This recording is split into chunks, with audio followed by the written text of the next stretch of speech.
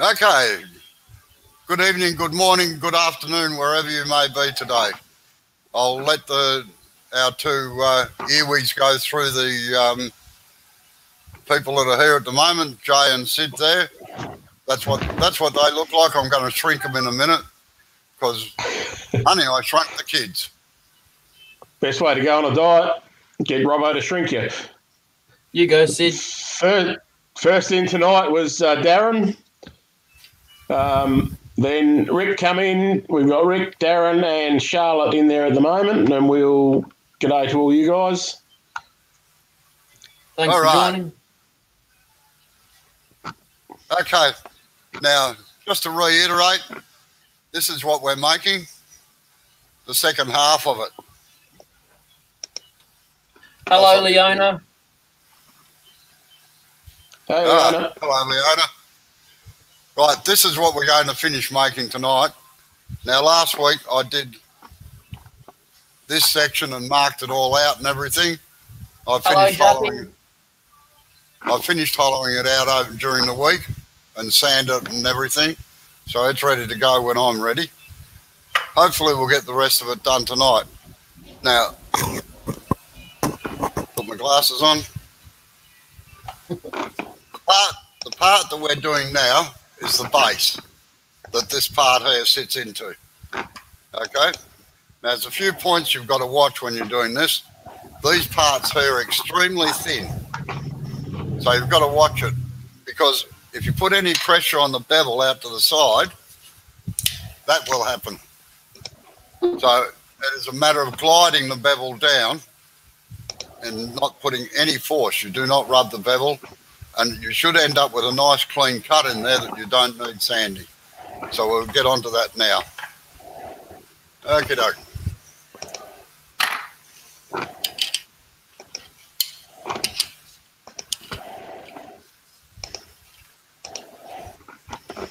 Now, for those of you that weren't here last week, these are just ordinary bits of pine, straight from Bunnings, which is uh, our local uh, lolly shop, I call them, because they're not hardware stores, in my opinion.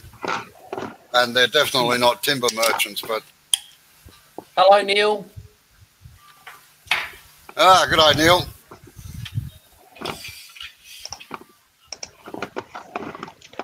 Hi, Neil. Now, the first thing I like to do here is to put a mark around the outside here so that I know where I'm going to take this little curved bit down here out to. Because if you go too far inwards, you've suddenly got nothing left. And what we're aiming for is a square section in here. And hopefully it'll work. Jackie.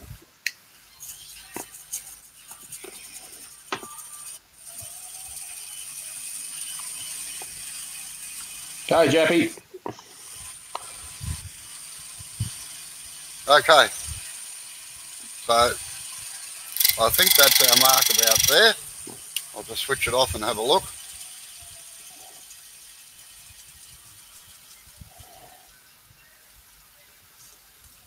Oh no, in a bit too far. We've got to come out a bit. There it is there.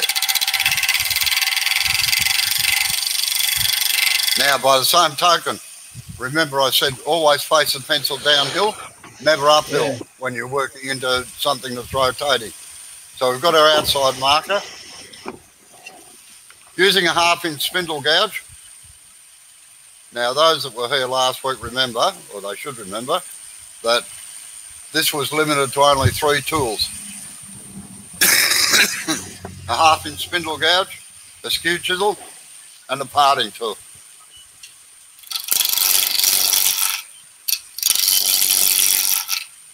Now, whenever you're working on end grain things like this, I always start in the centre and work out. So the grain's supported across the cut. We're down on our line there now. Now, all my tools are ground at 45 degrees, with the exception of a couple of uh, odd ones that I grind at 60 or 30, depending on which way you're looking at it. This is a 45 degree grind. And it's a thumbnail grind. It's not a swept back grind. That's a traditional way of sharpening a spindle gouge. And I tend to use traditional tools.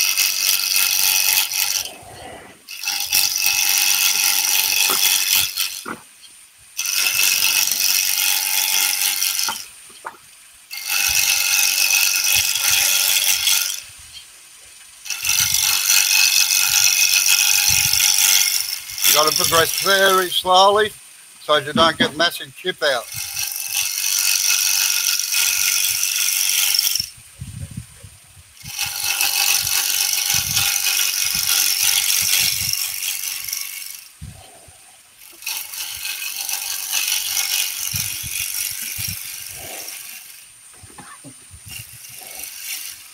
Right, let's have a look and see what we've got.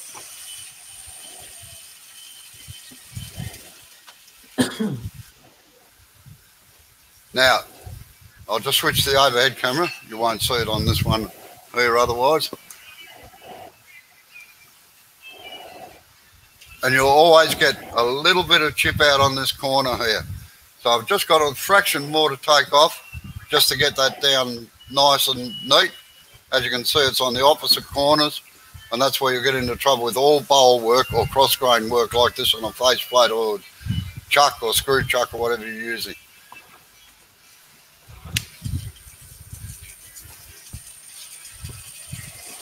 Just one more pass. The famous one more pass. Yeah, the famous one more pass. And you can see the size of the shavings that I'm taking off. Not like my usual coil springs, but like fairy down. And you've got to have a touch like an angel's kiss. Well, there's an old saying, Robbo. Yeah. Oh, well, I'm an old fart, so. Right. I thought I'd leave that one to Robbo to say.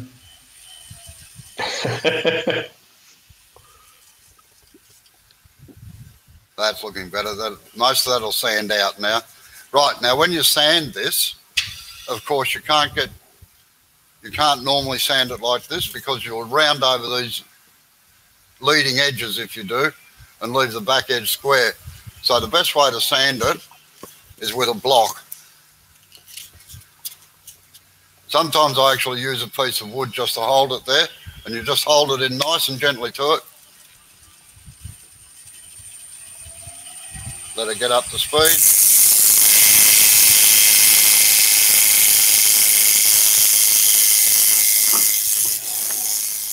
Right.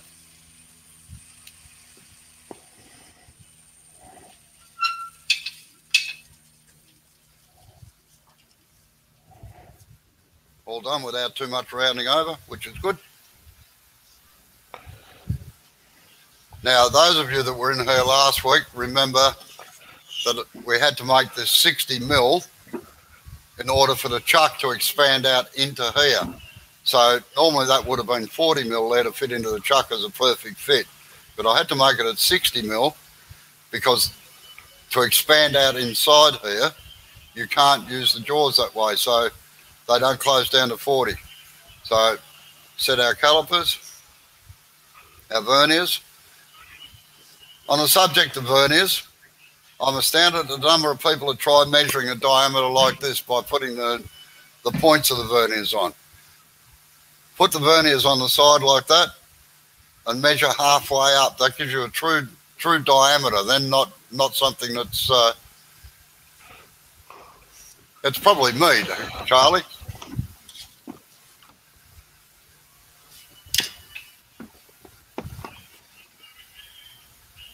And then it's like the old dam busters thing with Barnes Wallis of lining up the two points where he used the two searchlights to get the height of the planes for the bomb run.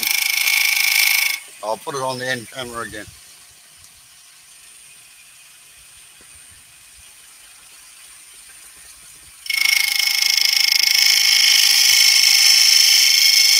Now, this point here never actually comes into contact with the timber because if it does, it will flick over.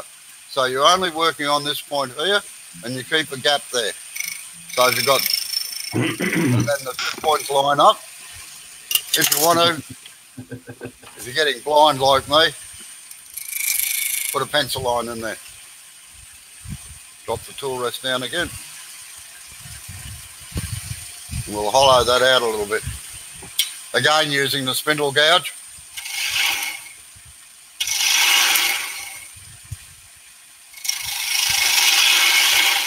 And always keep inside the line if you're fitting something into it.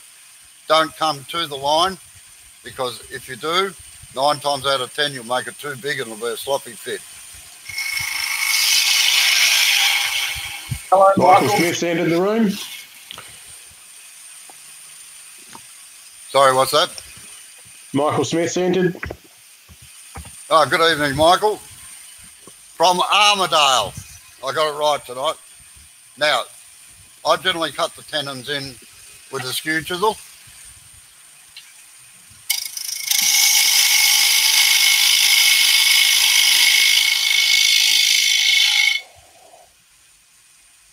Now, this is going to be parallel down here because it doesn't matter. This, this part here gets glued in, so You've got plenty of glue surface around the top to do it.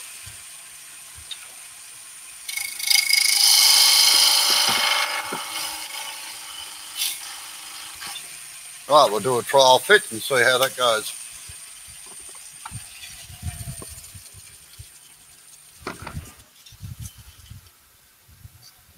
Oh, I got a bit more yet.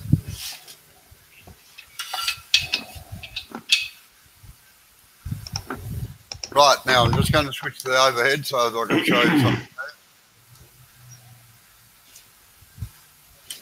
Most people, when they're taking out a recess like this in a little box or something like that, move the chisel in this way, just straight in. That is a good way to get it oversize or undersize. A better way of doing it is to use, I'll just get my little skew chisel here so you can see it just a small one, right? Now, these parts here on the edge of the bevel where it meets the, the shaft are actually called shoulders and you cut with that. So what you do, I'll turn the camera around again. You actually tilt it up like that and it's got to be in like that to get that edge there dead straight into the thing and you slide it out. So it actually goes into the hole. Go back on the overhead one again. Come on. What you're actually doing is pulling it back this way when it's still right in the hole. Okay? And it takes a micro cut.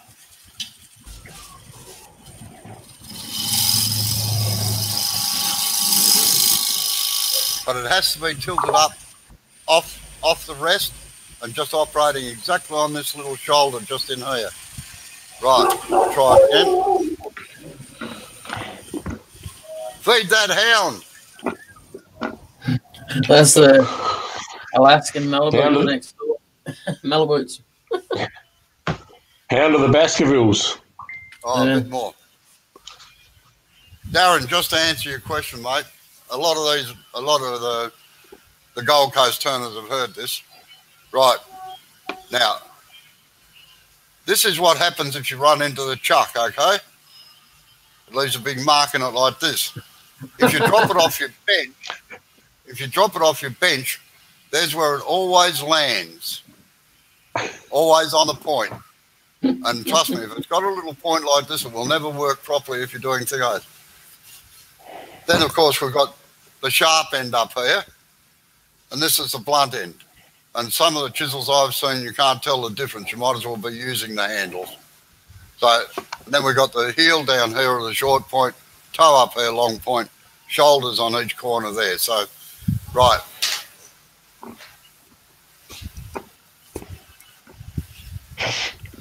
This is the part where it does not pay to be in a hurry.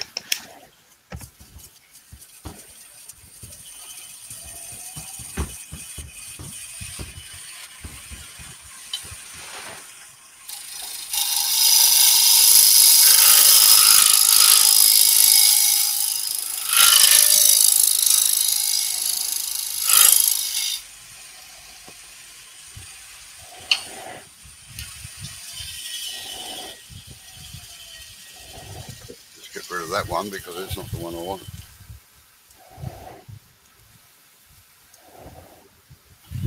Oh, we got a way to go yet. I measured the wrong one to start off with, I think.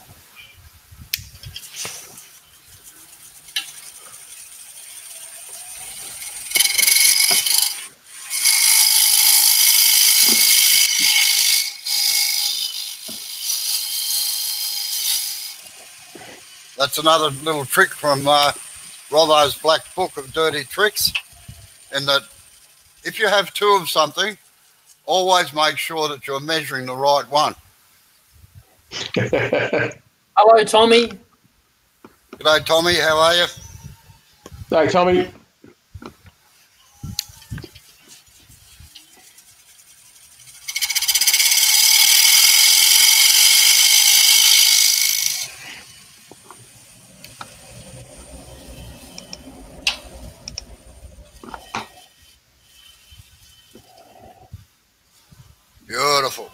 Rightio. Now, remember I said last week that we have to have this part here. Uh, wait on. I'll get it round on the camera here. Perfectly flat, otherwise it's going to sit on the corners if you get a, an undercut here. Well, it's the same on the top here. You've got to make sure that that's flat. And what I do is I put it, I'll put it back on the end camera again. Now, because it sits like that, these corners are a fraction longer. So I'll put a mark out here that I'm going to round over this edge here. And I don't want it to come in underneath these corners here.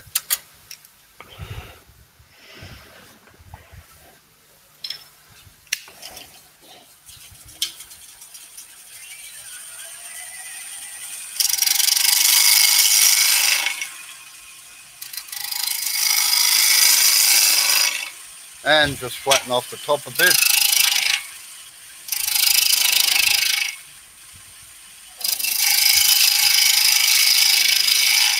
Again, you can't concave that top surface because otherwise it will sit unevenly. So it's got to be pretty straight and flat.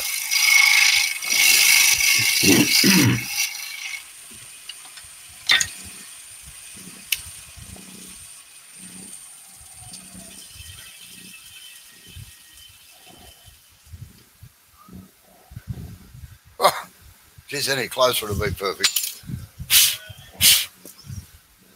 Right, let's have a look. See, no, uh, it's got to go a bit deeper. Just in the centre bit, I've left a bit of a dome in it.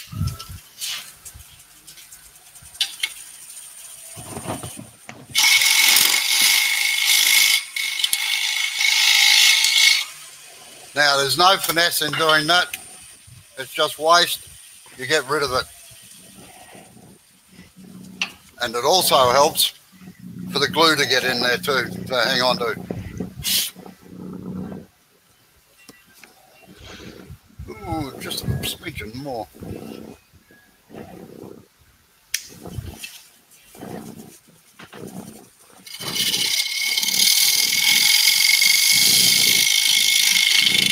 Right.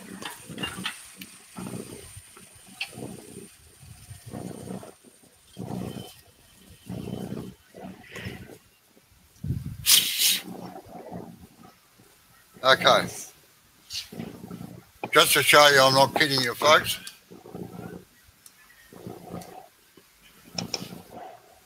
Couldn't fit a cigarette paper down inside there. So that's a good fit. Now I'll just round over this, I'll just sand that little edge off a bit.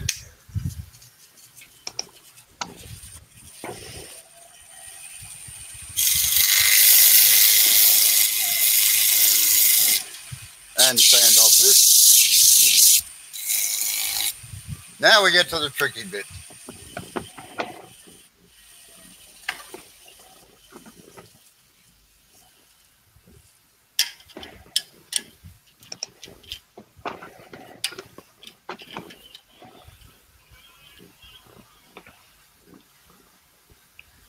Now we've got to turn off the tenon that we put on here and start hollowing it out so that we get our square sections up here. There something flapping in the wind or something?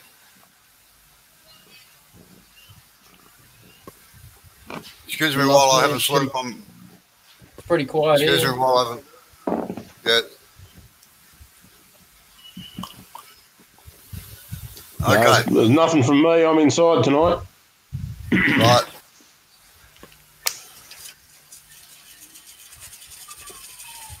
Now, as I've said before, I always like about a finger gap between the tool rest and the wood because it gives you a little bit of movement in the chisel.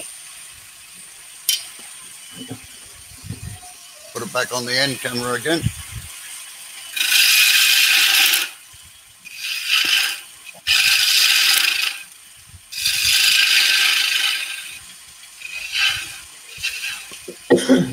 Now, again, because I'm a chicken,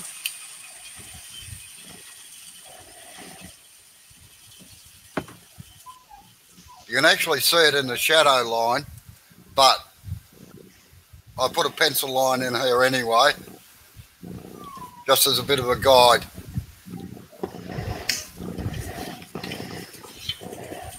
So I know I can come out to that pencil line without getting out the, the edge of the moment.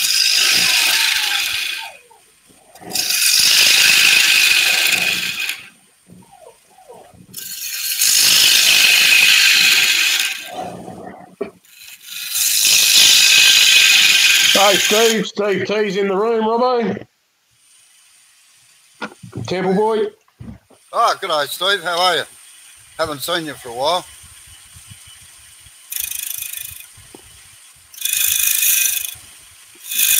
Now I'm just flattening off the base a little bit here so that it sits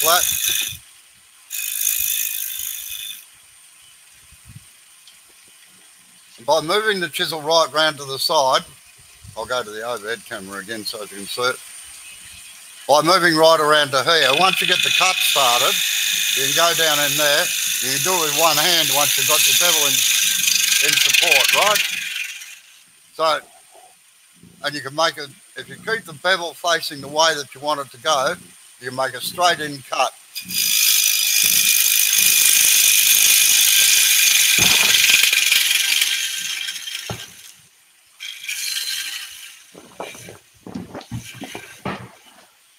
Now, the secret here is not to go through where you've got the hole that's holding in the centerpiece. So we hasten slowly now.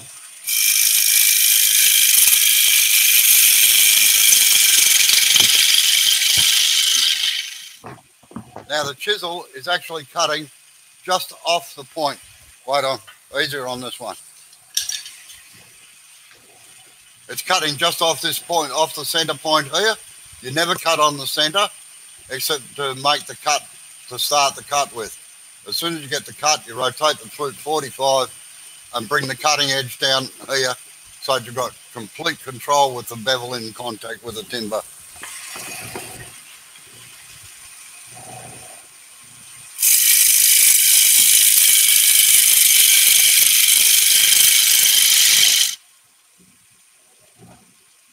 Now, as I said earlier on, there is no pulling the bevel out against that. It is gliding the the the bevel down. It's a gliding or a floating cut. If you start rubbing the bevel, just for the ones that weren't here before, I won't do it on that one. If you try rubbing the bevel on something like this thin, that's what happens. It'll just snap off.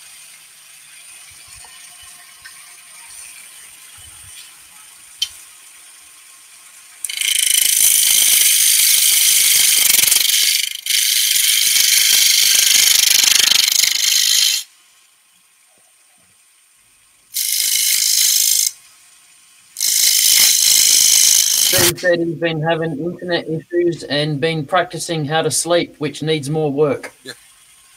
And that, ladies and gentlemen, is a catch. I do have them occasionally, particularly working on something like this. Can we rewind that? We'll go back and look later, Joe. Yeah. I'll edit it out. Okay, let's, have a look. let's see how we're going. So if you flick over to YouTube now, you'll be able to see it 20 seconds later. Yeah, true. Good point. All right. Now, I'll go back to the end camera again. As you can see, we haven't quite broken through the outside here. Now, this is where it starts getting hairy, and this is where I'll start using the skew chisel, actually, as a scraper. So tell me, do you want the overhead view or the, the end view like this? Leave it there. No, I'll be right, Neil. Now, the observant ones of you will notice that I actually tilt the chisel up a little bit like that off the rest. It's because if I keep going straight down, because of the width of the tool here, that's where the new Hamlet tools are great with their rounded over backs because it fits into the thing. Whereas a square tool, like a parting tool or something like that, as it goes down, it forces itself out because it's going up in thickness here. So I tilt it up so it's operating just on this extreme point.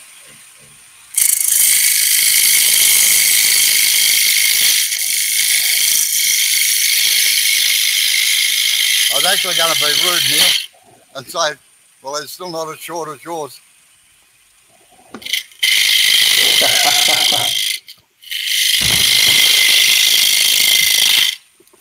Robbo was talking about his legs there too, by the way.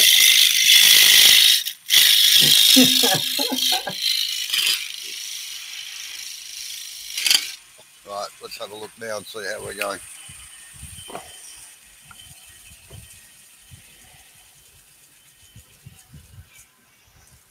Ah, yes, see, we're starting to get it, and it had a bit of a crack here, and that's going to disappear in a minute. Oh, might have to go down a little bit more yet to get the to get the size of it. Bugger. Oh, well.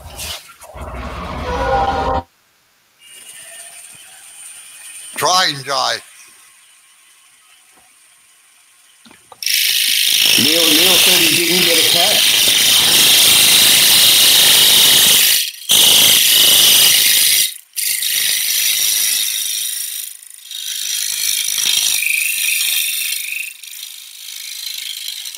Sorry, what was that? Uh, Neil was pointing out that he didn't get a catch.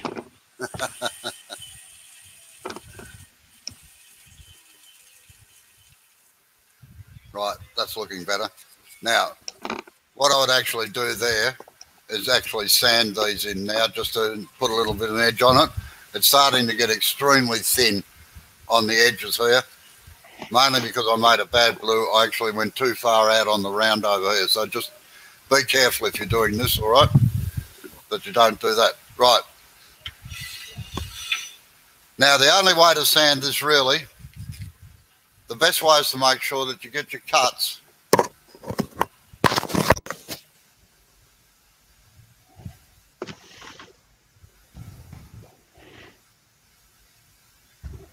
My legs were full length, but it was 40 only you can get it. Sorry, I don't don't understand that one, Neil. Okay. So you can sand down in here all right with it rotating like that, but I wouldn't bother sanding down here around the inside edge here. Just make sure that you use a very, very sharp tool.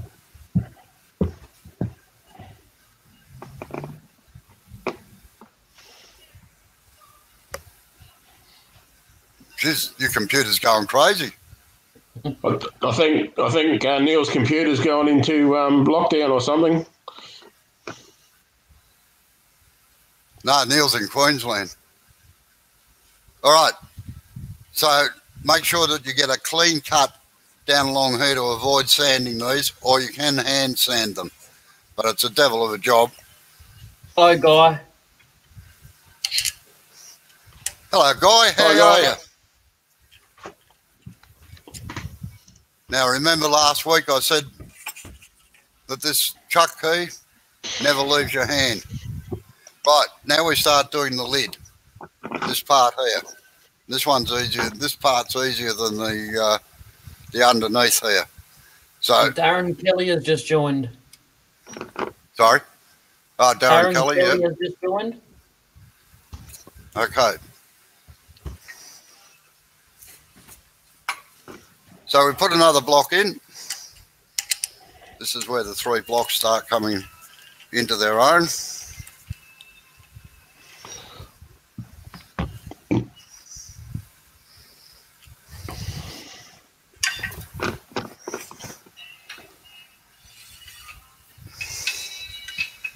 This fortunately is a lot easier than the bottom part because it's not as thin.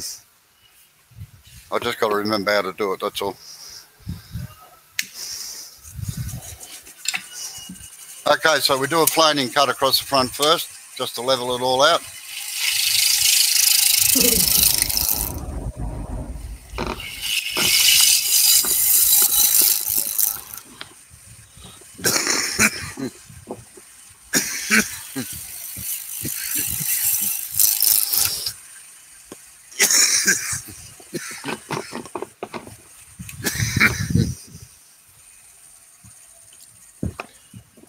Yeah, pretty much, Yes, Steve. yes, Steve, it's just, as I said last week, to us imperial speaking things, they're four, four by twos. Plus metric one, they're uh, 90 by 45, and for the Yanks, they're two by fours. You got them all covered there, Robbo. Well done. Right. Now, oh, chips in the cup of tea don't go good. Now, what we're doing is we're making the lid for this. So we have to size this so as that fits in the top, like so. Whoops. Like I say, I must have an odd shaped head because the earphones keep falling off. So it's the same thing again. What we What are you confused about, Rick? Sorry. Oh, Rick's just put um, get confusing. Oh. again measure across like that, not try and balance it like this because the time you'll miss. So always just sit the edge on, close it up. And, and make sure you measure the right one, is it, Robbo? That's a good point. All right, You can thank me later. I'll do that. Oh, come on, man. Yeah, make sure you measure the box, not the lid, okay? Uh, Now, this is the reverse of doing the base. You put your, your lines in. Again, not touching that far side point. So I line up. And just so you can see it on the camera. The pencil line there like that. Now, because you're going inside something, you make you make sure that this is bigger. So always work outside the line. I'll put it onto the overhead one. You can see that way I won't be standing in your way. Again, I start across the face. What we're doing now is working up to the extreme point up here to get the little points on it like this. Hence the name Pagoda Box. Now I virtually start just, just talking and turning at the same time, getting whispers on and I that face full of. Um, I'm just starting inside the shadow line so that I've got plenty of room down in here for the box to seat up into.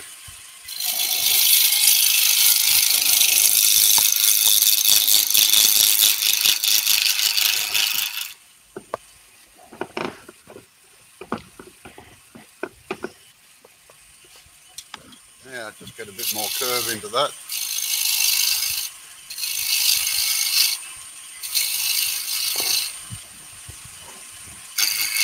And again, a very, very fine cut.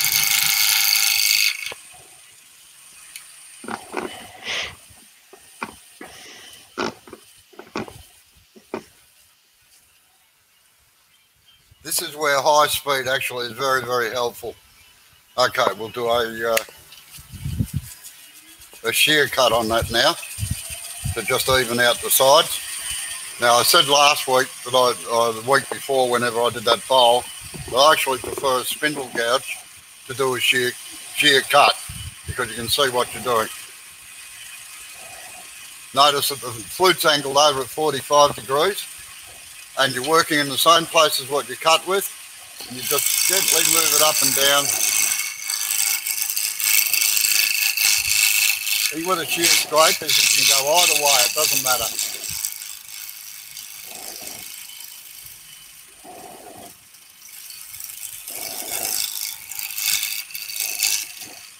The spindle gouge is ideal because it puts the chisel at the right angle, the tip at the right angle to do it.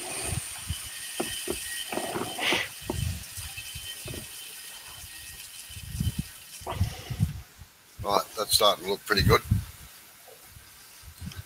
I like to form that shape before I actually start working on this part here so that I can working into solid timber instead of square bits all the time.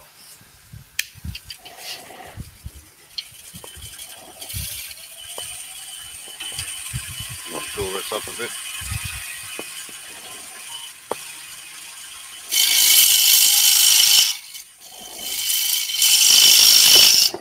Now you'll notice I'm just outside the line there so that I can fit it in nicely in a minute.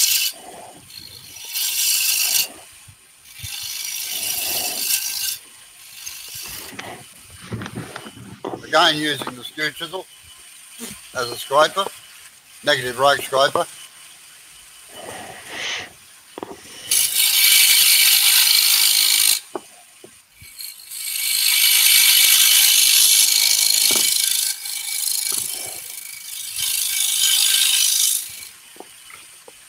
Steve T wants to know when you're going to use the roughing gouge, Robbo. Sorry? Steve T wants to know when you're going to use the roughing gouge. Ban him! Lock him out! Oh, That's we've got it. spanners now. We can do that, can't we? Right, Yeah. we can sort him out. Yeah. Look, it's got remove, report, put user in Time timeout, out. or Oh, hide user from this channel.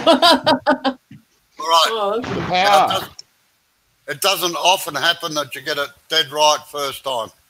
So now, personally on boxes, I like for general use, I like a lid that you can lift off with one hand and not have to hold the whole thing and pop it like that. That's all right for exhibitions and other wood turners, but it's no good to uh, women that are holding jewellery in one hand and then have to take the lid off a box or something to put the jewellery in it. So I always make them a little bit loose. And this one came in dead on. So, right, now I'll finish rounding it over.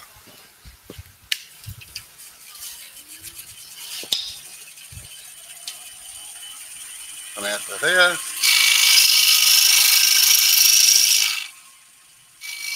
Get this curve up into here.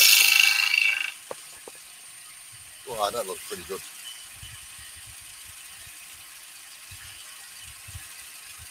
You're very quiet tonight, Charlotte.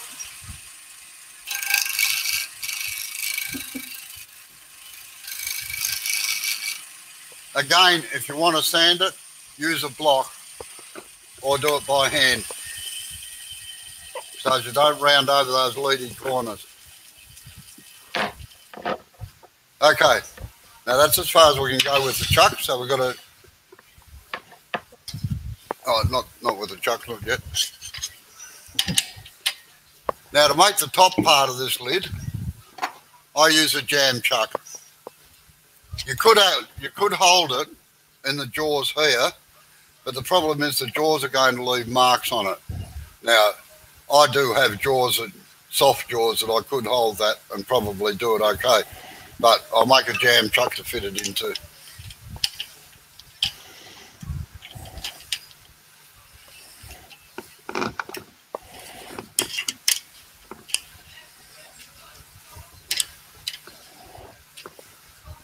So Steve T says, yeah, loose lid is much better for the ladies when they throw it at you too. More pieces means more damage to the head. you sure you don't want us to ban him for a while? Now I know that my wife is not watching, but all I would have to do if she threw something at me is stand still because she'd miss.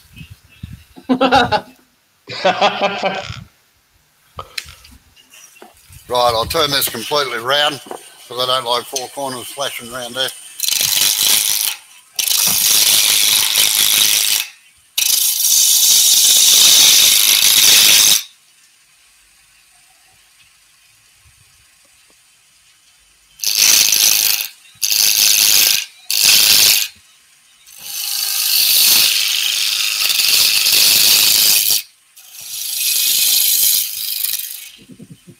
Okay, face, face it off so we get a flat edge.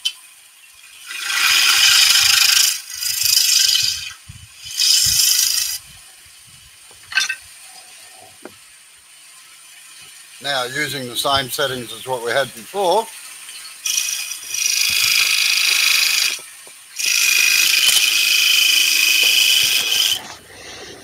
Now remember this time that we're going inside, so we have to be inside this line. So Neil's just put up you can use a split conduit too around the spigot. Yes, you can too, yep. Jeez.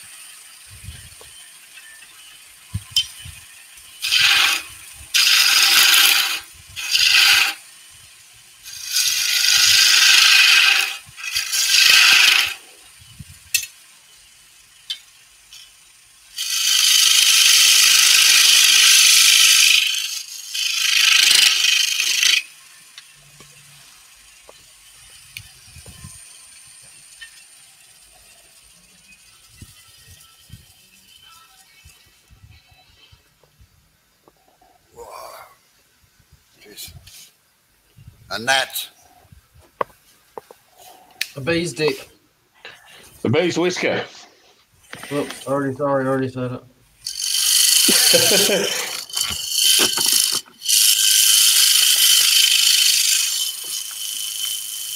now again, I'm I just can't using, report. again, I'm just using the, the shoulder of the, the skew chisel just to ease it out of fraction.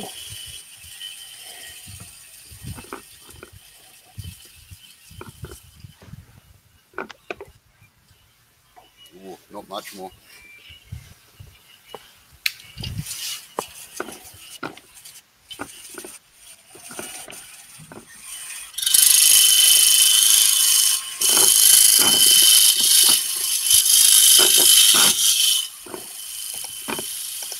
There's 19 in the room, Robbo.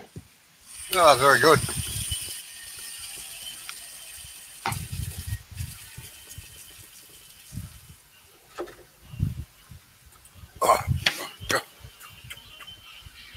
So close.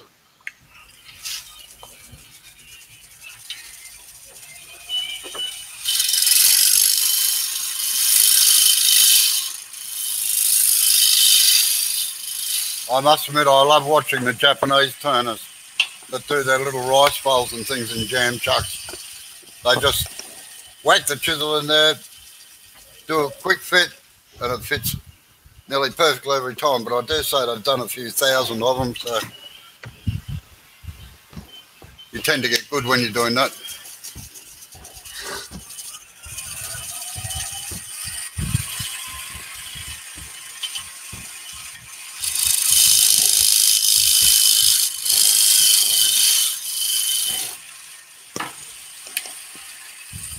If you have any questions, folks, just ask. And put a put question in the front.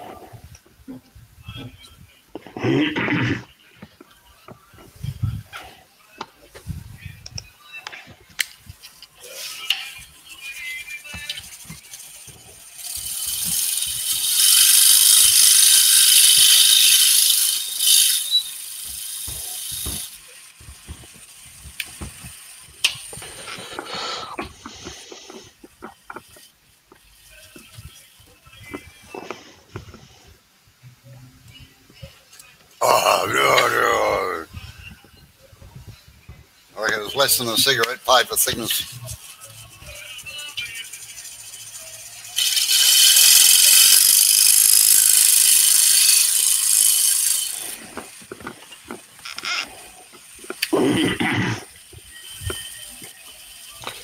Neil has commented that the camera positions are much better tonight, Robbo, so that little bit of work was paid off. Very good. Thank you, Neil. Right.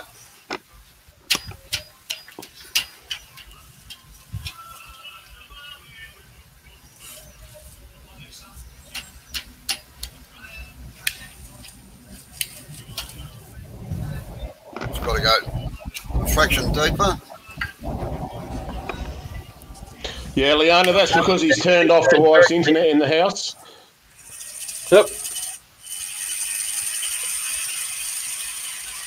Did you get both of us at once? What was that? Oh, Leona said the picture's very clear too. Ah, good. Thank you. Steve has a question. Yeah. I don't think you need to really read it out though. Well, as a matter, as a matter of fact, wait on, wait on.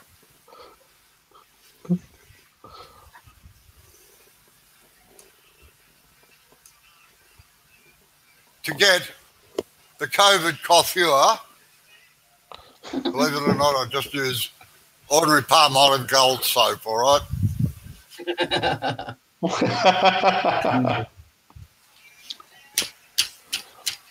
There's the send fashion tip for the night, folks.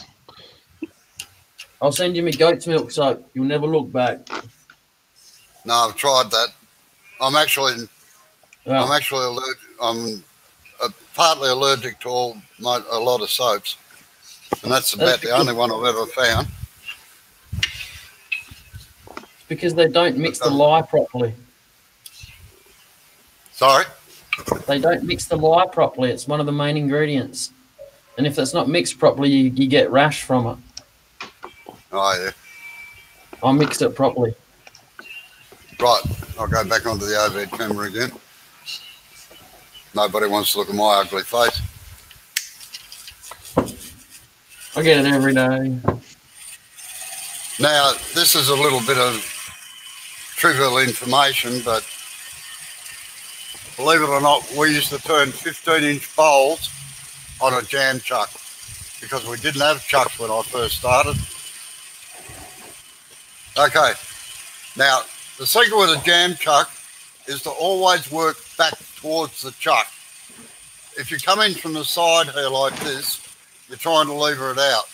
So what you do is you come in from in here, not like, hey, flyer. That was a demonstration on what not to do. Yeah. Wait on. The worst part is I've got to take my jacket off so I can get my headphones off to go and get it. Which pulls my glasses off.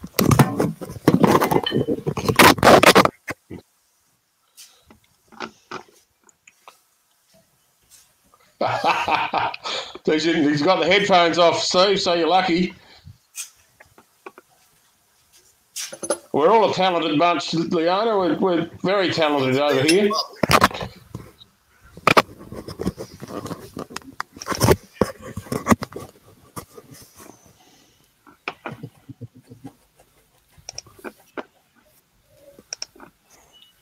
No, not quite that old. Not quite that old, Steve. I we actually had Bronze Age tools by then.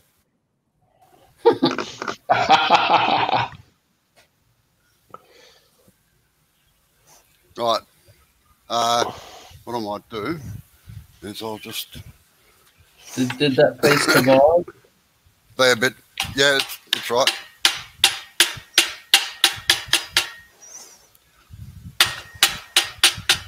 Of course, Neil, I could do your trick and super glue it in. Will you skew take it, Robbo? No, now that's better. It's actually wedged right in there. Now there's a there's actually a slight taper on the lid, and it just was enough to not seat it properly. That's my excuse anyway, so here we go again. Okay.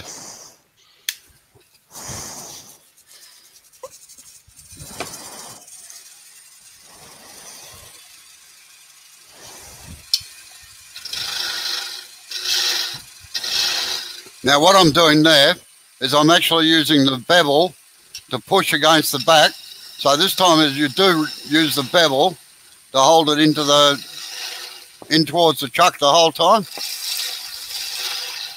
That's better.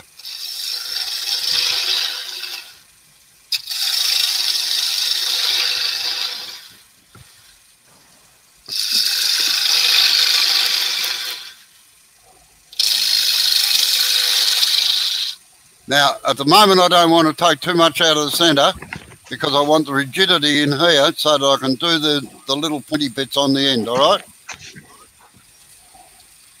No, they were a bit they were a bit too soft actually, Steve, yeah.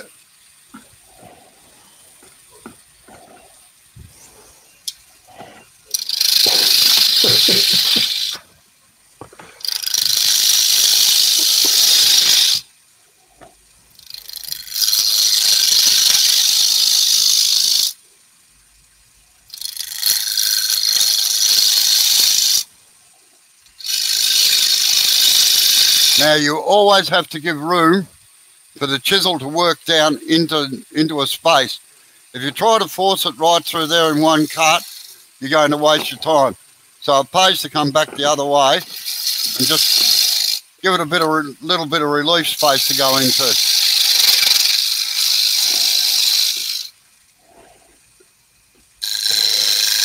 Now, Neil's got a question. You're making the top. Why are you hollowing? Because it's got to look like that, Neil.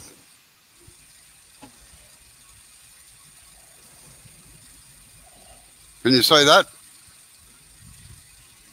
Yep, that should explain it, Robbo. Yeah, it's bright enough. It's got a little dome. It's got a little got a little dome in the corner of it, in the centre of it.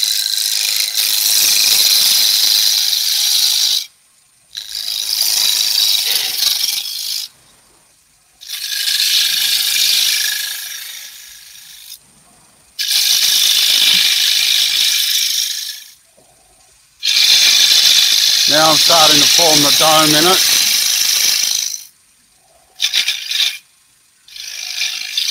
Little flat section here for the finial to sit on in a minute.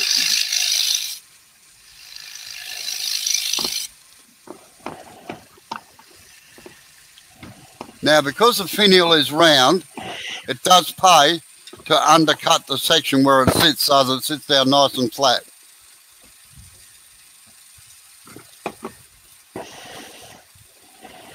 Oh, your numbers going up over there too, are they, Steve? No, the dome wasn't. The dome wasn't completely full height, Neil. It was about half an inch under. I've made this one a little bit smaller.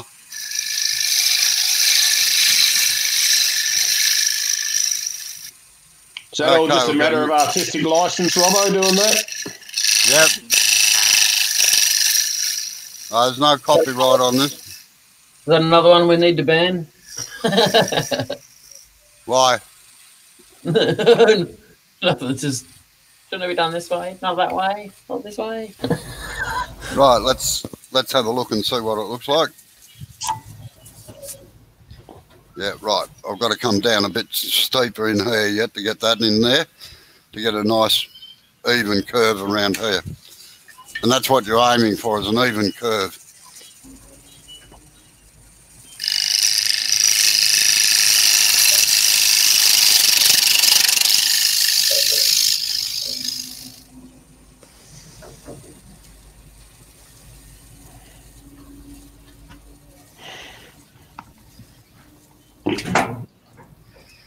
Yeah, it's getting there slowly.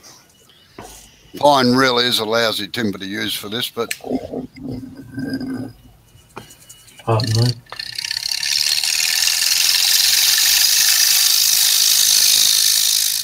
Now, the actual cut at the bottom of that is not really it's more a scrape.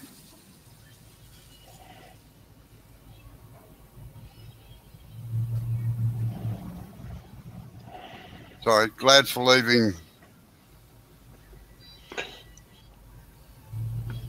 Thought was making another bottom. No, no. Okay, the actual cut down in the bottom here is a scrape because you can't get the bevel of the chisel around. So it's a very, very fine scraping cut off the. We've got a question and a comment in there, Robbo. off the sides here. Do what? So Darren, Darren has asked, what timber would you use for preference, if not pine? I, probably a very close grain timber. I'd, I've never tried it on anything else, but I would say that Huon pine or sassafras would be absolutely fantastic. I'd keep away from um, blackwood or any of the coarser grain timbers, but uh, yeah, that's what that's what I'm beginning to think. Neil, it's whoa. There's some great either that or you're been into the liquor cabinet, into the liquor cabinet. Maybe. And I know, I know he doesn't drink. Someone's been adding something to his coffee then. Well, that could be. oh, coffee. You haven't, you haven't been around there, Charlie, have you?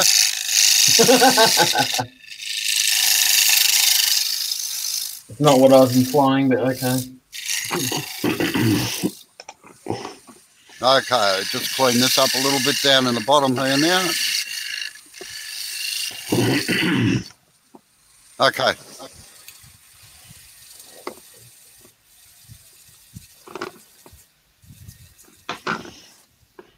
Right. Now we've got a fairly even curve around there, albeit we've got a few little chippy bits in there. Now, again, you have to make sure the cuts are pretty good there so that it's nice and smooth. Now, Hello, Rob.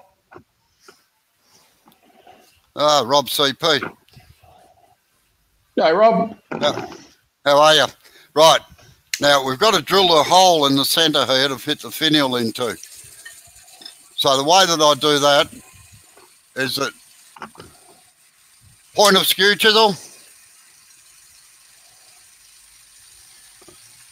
and put a little recess in like so. Now this is very technical, this bit. This is a two and a half mil drill. All I do is just hold it in the thing. I'm pretty good at holding things straight and even, so I just push it in. That's it. Done. You can set up a drill. You can set up a drill chuck and everything if you want to. But I I find that's good. Now, sorry. Uh, Ah, Mr. Ellis. Rightio. Now, to get this out of here, most of the time, a little bit of a knock will get it out.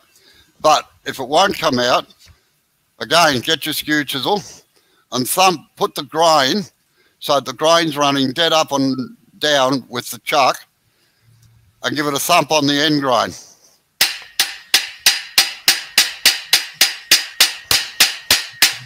And sometimes it'll come out like it's starting to move. Oh, tight. Oh, it's a good jam chuck.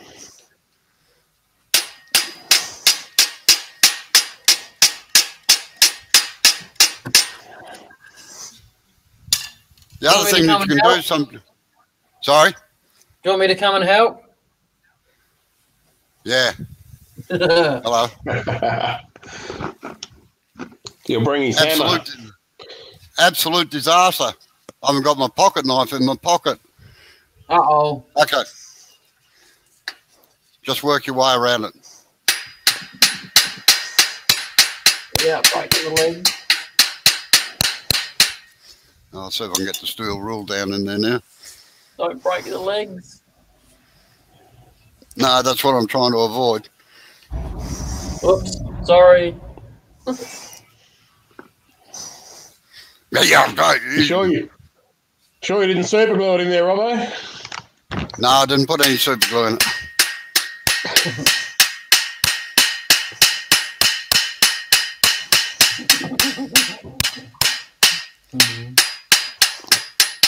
There she goes. Oh, Right. Now, so far we have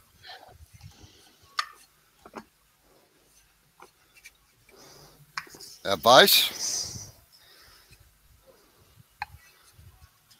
and our lid. Now we're going to make the finial.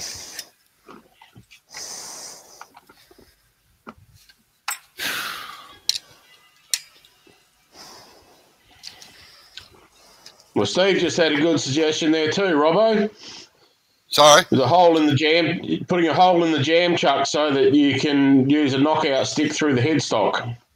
Yes, I've done that, and I've also drilled a hole through the side and put the airline into it to blow them out. If I'm doing production work, that's what I do.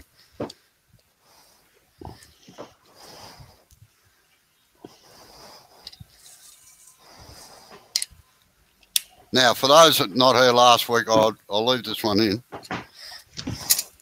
What I did was turn this stick with a groove in it here so that it actually seats back in the the jaw slides, not on the jaws, because the jaws just don't give enough purchase on a little quarter inch bit like that, and they wobble. Whereas on the slides, it's quite firm.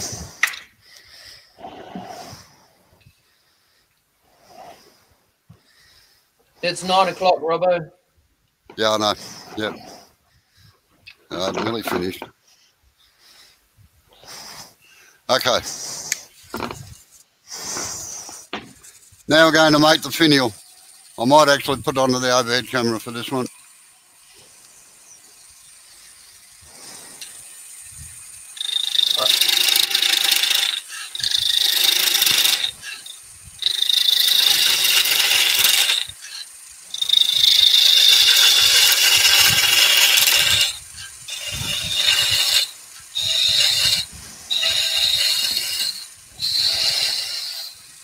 My head's not getting in the way, is it? No.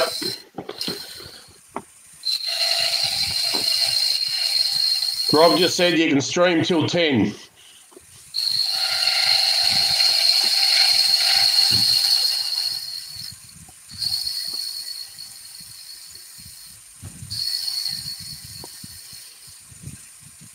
Yeah, I don't see uh, uh, SK Craft up anywhere, and he's normally on, so I don't know what's going on with the lives, lunchtime lives. Now you'll notice that I use miniature tools for doing this.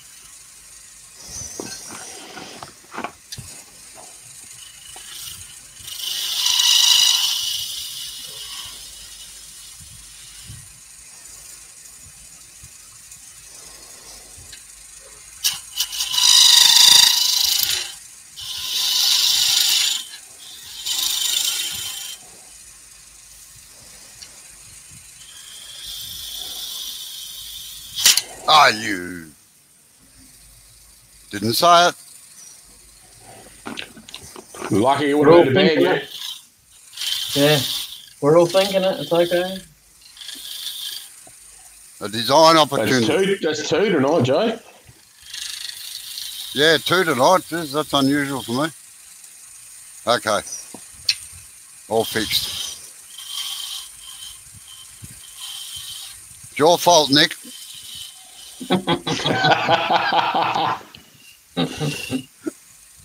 Time out. Neil said it was too fat anyway, Robbo. Yeah, I agree. It needed to go on a bit of a diet. now, whenever you're sanding anything like this, if you try to sand it just normally like that, you're likely to break it, all right? So, uh, it can easily, because it's been used on a skew chisel, it can easily be sanded with about 320 or 400 grit. But what I do is I put my thumb in behind it like that and sand it up like so. Now, so as to keep these nice crisp edges here, here, and here, always come up from the bottom and work your way around it. Work your way up to the point here. Just get rid of that. So, Temple Boy's just a really good idea for his live Monday. He said he's going to do a pagoda box. He doesn't think anyone's done one before out of construction timber. Ah, right, yeah, go for it. now to do to do the cove here, roll the paper up like that. So it's, so it's got a little crease in it, and come into the centre of the cove, and work up towards the edges, and don't dub them over on the side. Now, when you go to, as you know, when you go to fit things into a hole, you make this edge here concave so as it sits down flat right round the peripheral of the edge. So I'll just get our parting tool here now.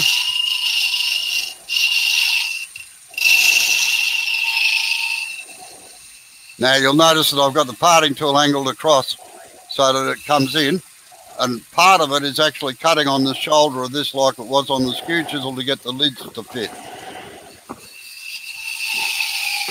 That's also another Another trick if you're parting off is to use that edge pushed hard against the part where you're parting off with the chisel slightly tilted over towards that like the cut and it leaves a nice clean cut down where instead of a rough rough surface.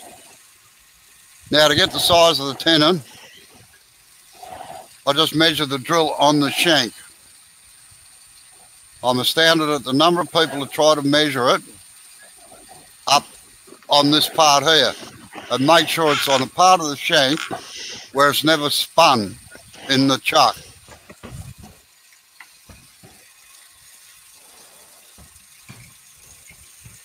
Now, if you don't feel confident in doing this, don't do it.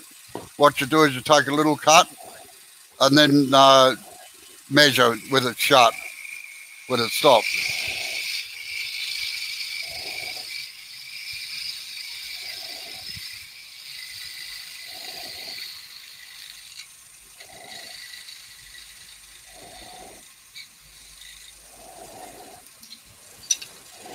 And we just use the skew chisel to snip it off.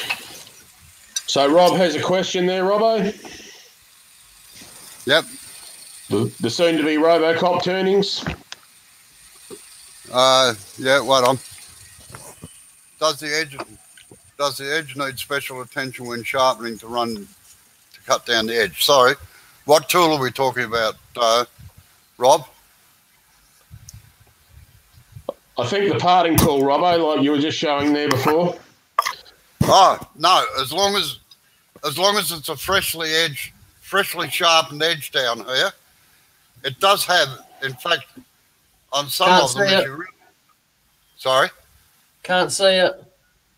Oh. Can you see it now? Yep. When you sharpen Yeah. it, in some cases you actually get a little bit of a burr down there. Now I don't run burrs or anything on any of my scrapers. I always, uh, believe it or not, sharpen them off. But it actually leaves a nice sharp edge down here that can just uh, slice through anything. In fact, uh, if you've got a minute, I'll actually show you. Just wait on. I want to make sure that this fits.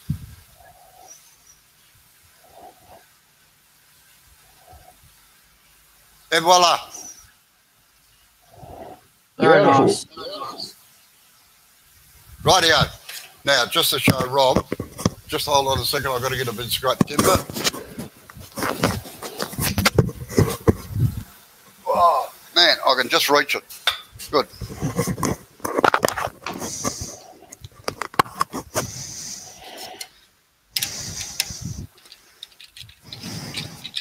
We've got time, so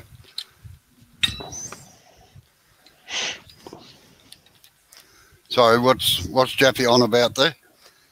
yeah. Uh, postal service. Postal service.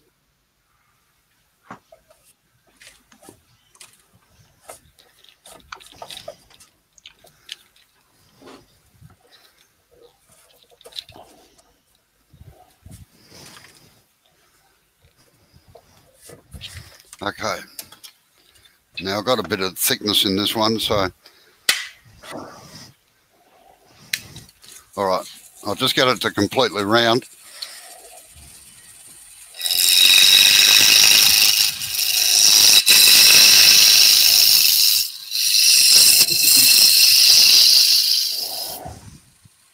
Now, about there. Now, widen this cut right out so you can actually see what I mean.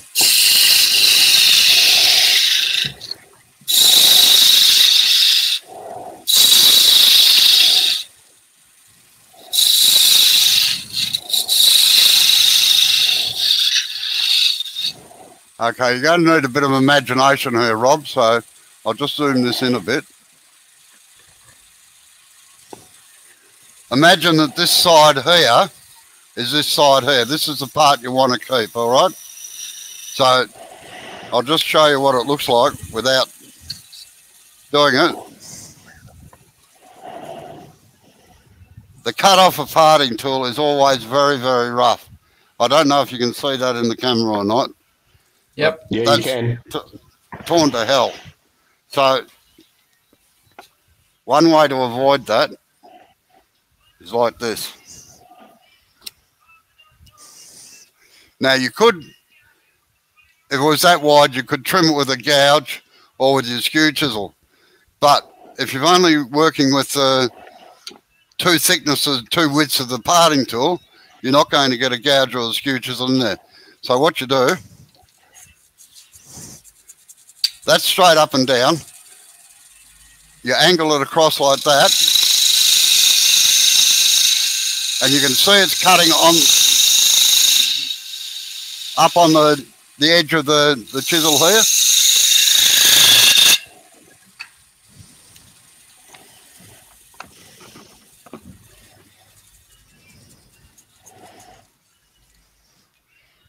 And the surface is improved out of sight. That's what I was trying to show you the other day, Jay. Yep. No, I've, I've been doing that. So does that answer your question, Rob? He said, awesome, Robbo. So I'll take Yeah, that as a I'm- yes. All right. So that's the way to do it. Now, just another thing, Right, like see if you, I've got, Jappy. Jappy's heading off. uh, all right then, no worries, Jappy. How you going with those thingos? Seven minutes?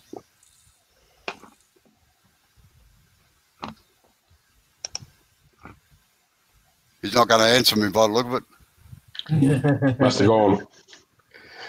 Exit stage left. Right. Anyway, whenever I have a piece, like normally when you part things off,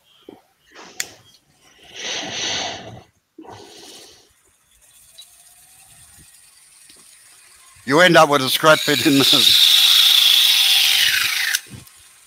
in the lathe like this. Now, I use these pieces for just practicing. If I've got a, a parting tool, I'll just run down the face like that. See how smooth I can get it? Or I'll get my gouge and I'll run down the face just to get a nice, not like that. Ah, now. see, if, to see if I can get a nice clean edge on it. Or I'll grab my skew chisel and do the same thing. Or I'll do a peeling cut. Just to practice the different cuts so that you're down to 10. That's great, Jappy. So I never waste a little bit of timber in the end of the thing. And quite often what I'll do is if it's uh, an inch or so thick, I'll just flatten it off on the end and use it as a glue block or something for another job or something. One stage I had hundreds of the bits around here because of the jobs we we're doing. So, all right. Now, any questions? Not so far.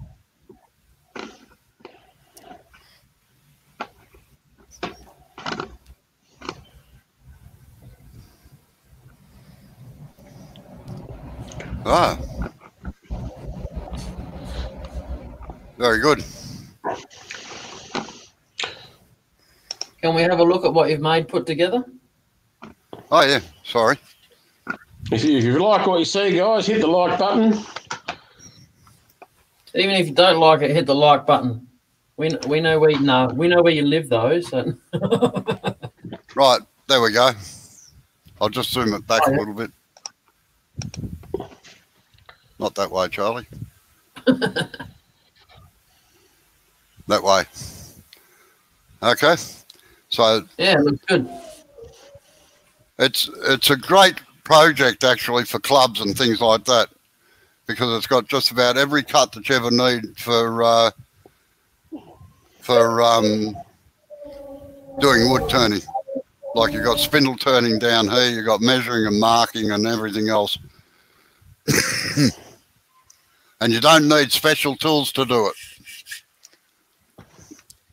Yes, I know. Yeah, yeah, right.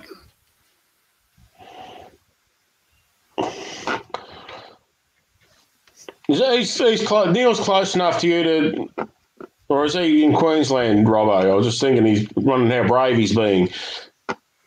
No, no. Well, he's 15, 1800 kilometres away from me, so it's quite safe. Yeah, no, so, Plus, so he's not being that We're not brave. yeah. We're, we're not allowed out of sick Victoria, you see. Well, it's getting it's getting better, Robbo. I notice the numbers are coming down. Yeah, they are slowly, which is good. Like, um, I uh, I rang a bloke in Perth the other day about something that I did, and he answered the phone because he saw the number. He said, "Oh, somebody from Sick Victoria, right?" So, yeah, you're dead right. I'm I'm pretty good at getting back at Neil. He he spends. I'll just I'll just hire out his uh, camper spot for the Christmas holidays. That's all. He spends Christmas Yeah, down there. that's the trick. Yeah, that's the trick, Robbo. Don't get mad, get even. Yeah, that's right. Or either that, or I'll put his rent up. Double it. Yeah, triple it. triple it.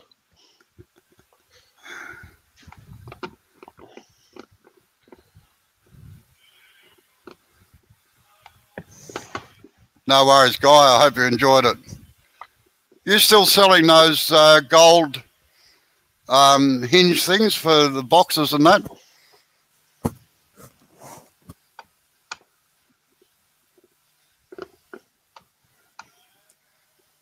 Guy Guy Michello sells uh, fantastic uh, hinges, brass hinges for Like they're the ring hinges for jewelry boxes and things like that. I was just wondering if he still sells them or not. Yes, Yes, good. it is. So there's a free plug for you, Guy. Look it up on the net, Guy Michella.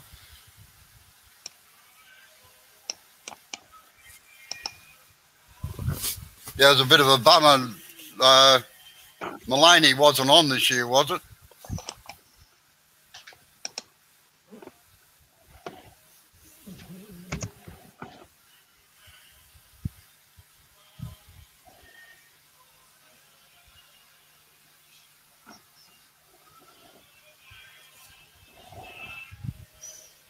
Because I was going to come up to it, but of course, Victorians are persona non grata at the moment for anything. We're not allowed out anywhere.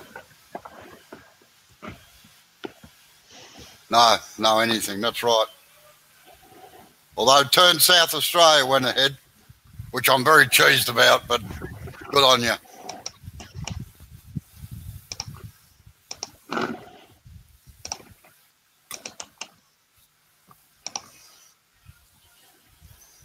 Yeah, I'm hoping to be able to come up. Um, I'm hoping that uh, I can resume my normal travels. I just, I think I was telling Sid or uh, Jay today that my truck has not had any fuel in it since uh, February. So that shows you how much. I just put Guy's link in the in the chat there. Yeah, thank you. Yeah, guy. Uh, Temple Boy Turnings asked you a question. Sorry, it hasn't come up on my screen yet. No, guy. He goes, "Oh, oh, guy. Not looking for an Irish supplier, are you?" Ah.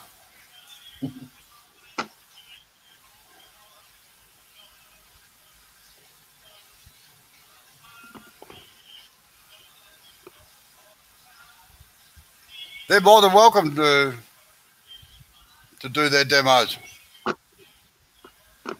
Stockist, he meant. Steve meant.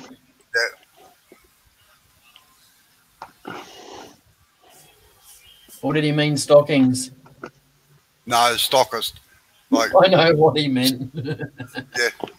So free free trip, Leona, hey?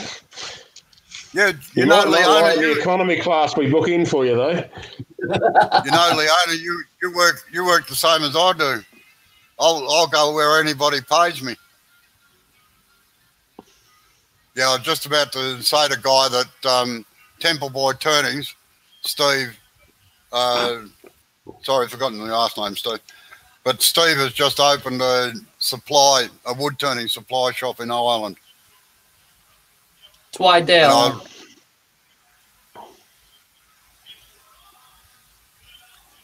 His last name's Twydell. Ah, Twydell, yeah, of course.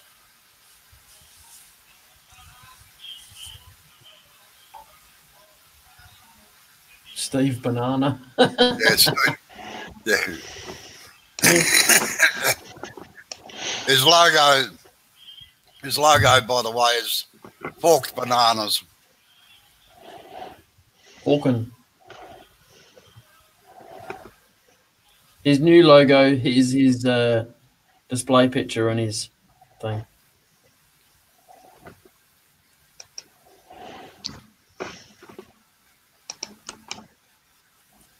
Temple Boy, did you get a uh, Steve? At least, did you get an answer from David? Because I did ring him.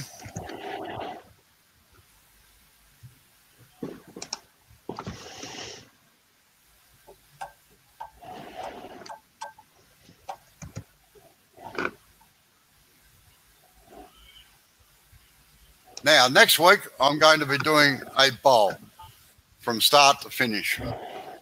So, Nice one, Robbo. Rob, rather. Rob CP. sorry, what was that? Oh, Rob CP said, I thought you would use banana boats, Steve. Yeah, all right. See you later, Neil. Make sure someone doesn't put something in that coffee, Neil. Right. uh, you're on Facebook, are you, Steve?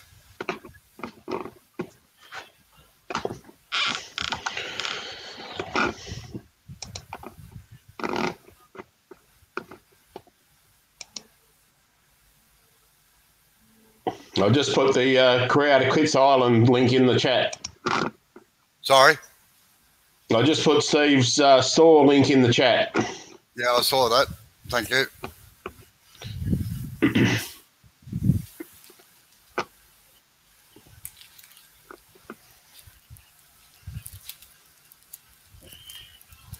Yeah, Steve's on Facebook. Okay, good. Well, I'll I'll send you a, a private message about what Dave Dave said. Okay.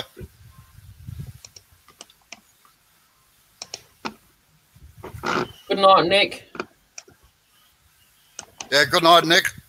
You take it easy. Thanks for coming in. Yeah, Rob, I put Steve's Facebook page in our little Facebook Messenger chat for you.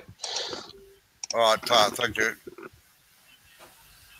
I actually messaged it to me because um, Yeah, I did. That's Oh. what I did. No, you yeah, didn't. right. Put it in the group one.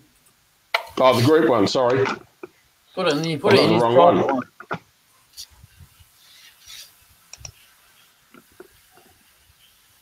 Yolanda has just come come in. Yolandi. Yeah, you should be able to work off that link. I think Yolanda, the the link that you had. I think it stays the same. Yeah, done now, Robbo. Thank you, sir. They might have to wait until you've actually finished, ended the live before they can rewatch it. Yeah, I know that. Yeah, I found that last night with that um, thing. I watched uh, Costas do his Oh, thing yeah? last night. I didn't watch it last night. I watched it this afternoon. Yeah, And uh, yeah, he does work like I do, doesn't he? yeah, he does. He's a production worker too. Yeah. And I think he uh, might have knocked um, the flaming wood turner off his perch, though. what was that, Sid? I said I, I think he might have knocked um, Nick off his perch with the flaming turner. Oh, why? Because of the flames. I'm like, oh, yeah, yeah. It's funny, you know.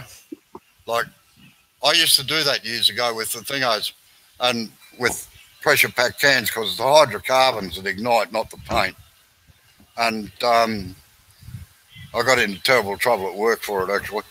But where I served my apprenticeship, we had a, an empty 45 or 90 pound gas bottle. And I said to my boss, I said, you know,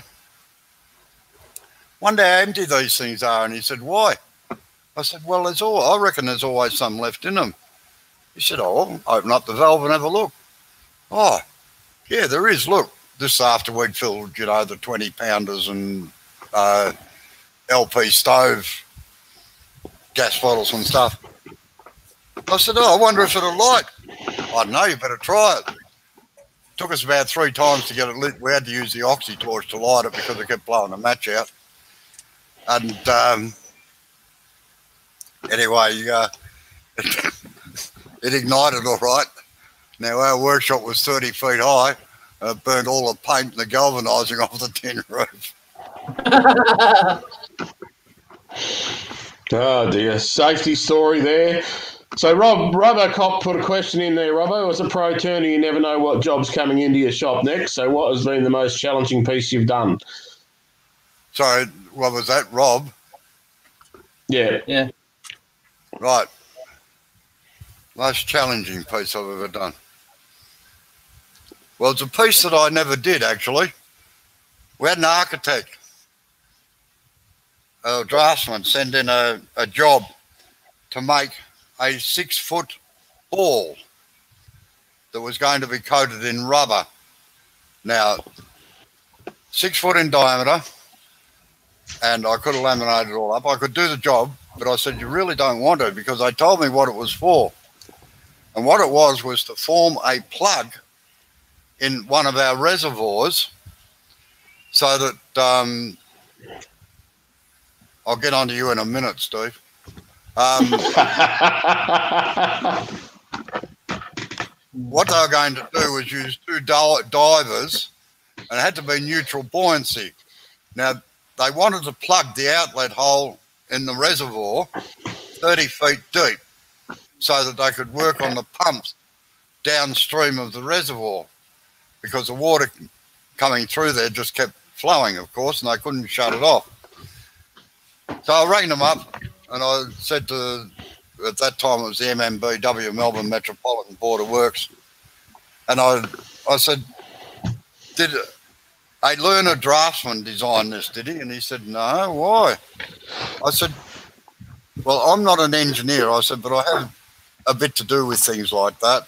I, I said, do you realise how much 30 feet of water weighs on top of a six foot ball? Oh, no, I can calculate it out. Anyway, it ended up calculating out about 80 or 90 tonne or something like that. I said, yes, it'll go in, but how the hell are you going to get it out when you want to open up the, the chute again to let the water through? Oh, I never thought about that. So I didn't do that job. That was that would have been one of the most challenging ones. But what I did do was give them the answer to how to do it, and I got paid nicely for that one. I must admit. So most challenging job I've had to do was uh, probably seven foot tabletops. I had to put a, a groove around, two grooves around them for a Chinese restaurant. We had 12 of them to do. I had to put two grooves around them to fit leather leather banding into it. And uh, when you got seven feet of timber rotating in front of you, it uh, it tends to be a bit uh, interesting. So that was one. The other one was probably the one that I've got up on my video thing on the, doing the spanker gaff, which is a, a um, uh, it's like the, the mast on a ship and holds the, the leading sail in front like a, a spinnaker. But that had to be exact because it had metal metal fittings that um, to go onto it that had to be an exact size, and uh, that was it. Yeah. No, what I did actually, Steve, was they made up a steel plate that. Oh, well, wait on, I'll show you. That's the easiest way. So what I got them to do was to weld up a thing that was circular like that, that fitted around the outlet pipe that they could bolt into place, and then they had another piece like this that went on the top that slid across, so they could slide it so that when it when they went to open it, all I had to do was set up a four wheel drive on the, the bank of the on the reservoir wall and pull it. Once it started opening, the pressure became virtually nil on it. So I must say I did get paid nicely for that one. they You got paid for nothing, Robbo. Didn't have to do anything. Sorry. Didn't No, have to didn't do have to do anything and you got paid for it. Yep. no, I told him if you pay me enough, I can sort it out for you. He said, "Yeah, okay." He said because nobody else around here can think of how to do it.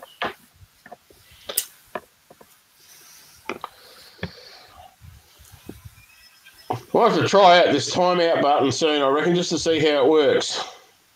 Sorry.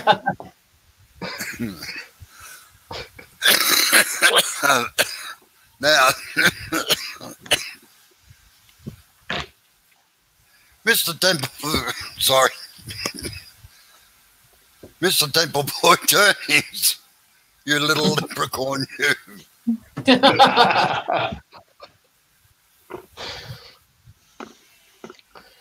I do not use roughing gouges on bowls.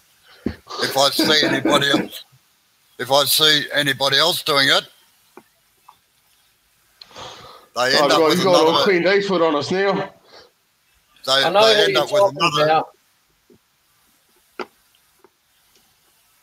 They uh, they end up with another orifice All or right, an I'm enlarged one. I'm gonna hit the put user in timeout. Do you get to select how long for, Joe? Actually, actually, the reason oh, I've got smokers. Oh, Jesus. what have you done? He's timed out, Steve. I don't know how to bring him back. 300 seconds. That's Oops. five minutes. See you later, Steve. Oh, you didn't you didn't block him, did you? no, he can No, still no. hear. He's just on timeout. Oh, That's great. So that's how it works. Yeah. I, should have I should have done the job actually, Leona, and um, uh, chart because the quote was oh, it was hellishly high, and um, they were prepared to pay it, but I just I just can't do things um, that I know just aren't going to work. So yeah, good night, Yolanda. It's good to see you. In. Hopefully next week you might make it might make it right.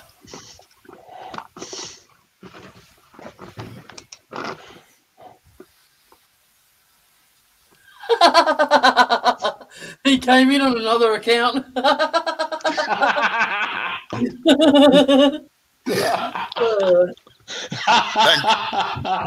Thank, thank goodness the the uh, the chat doesn't come up on the thing. You're a mean bastard.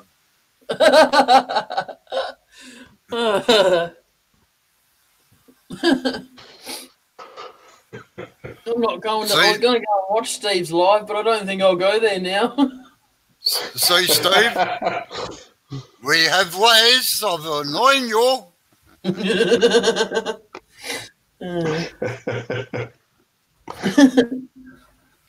Don't muck So with is- us, baby.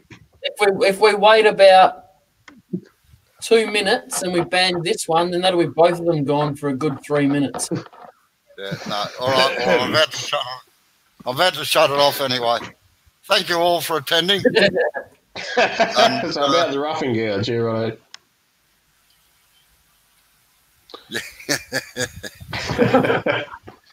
all right, nice to catch up with you all tonight. Yes, thank you for coming in, and I hope it's been a good night. Hope you've learned a few things. I've had a good night. Things didn't quite work out, but you can see that things do happen occasionally. So um, that's the way it goes. All right, thank you, and good night. I'm about I'm about to hit the end broadcast button tonight, not wander away from it. Okay. Oh, ripped off. all right, see you guys. Bye. All right. See you later. Good night.